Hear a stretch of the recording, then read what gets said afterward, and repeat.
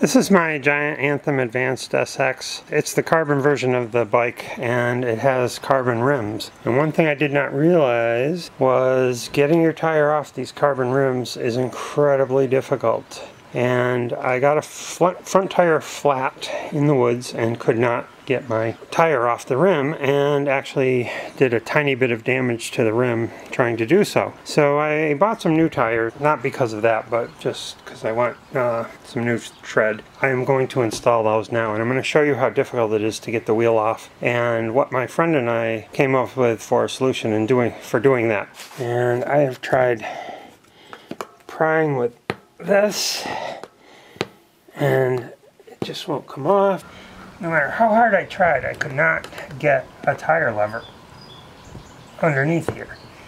And I started to get frustrated and tried to fit a screwdriver for my multi-tool under here and I did a tiny bit of damage to the rim right there and there trying to get it off with the with the uh, screwdriver.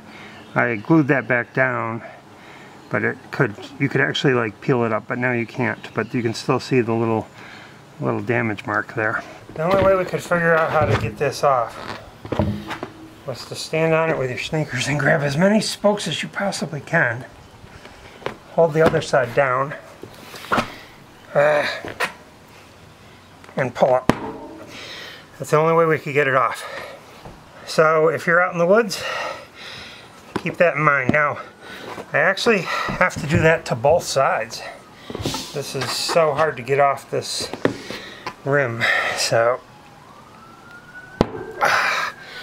that's how you have to do it. Now another thing I don't like about this wheel is to get it seated onto the rim, you have to inflate this to about 80 pounds. It's still not seated and I'm at 60 pounds. Ooh. Okay, that's seated now. I was just touching it. and it went on. Holy crap. I don't like these wheels at all. I don't give a shit if they are light. They are a pain in the royal ass. Both putting the tire on, inflating it. You're out on the trail, you can't get 60 pounds in with a hand pump.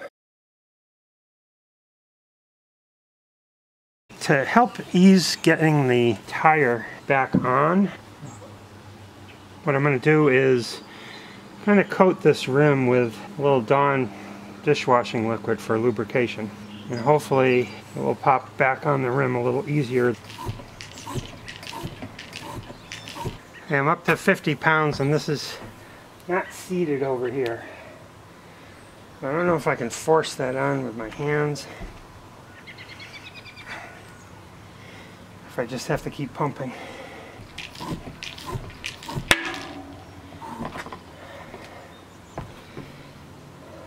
Whoa. Ah, perfect. Got the perfect seat. 50 pounds. Still not seated. So, let's keep going.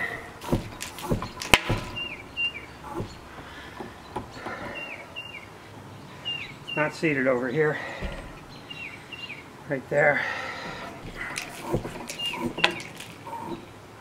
Now it is. I don't know if the dishwashing liquid helped much, but maybe the next time I have to take these off, it'll be a little easier. And now at least I know how to get them off without damaging the rim.